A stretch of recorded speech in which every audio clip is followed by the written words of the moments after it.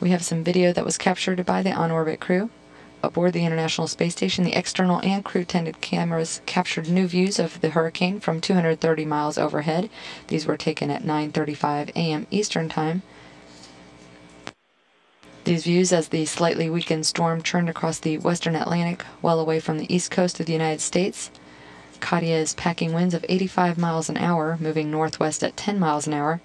The hurricane is expected to move in a path that would miss both the U.S. and Bermuda as it moves north and eventually to the northeast.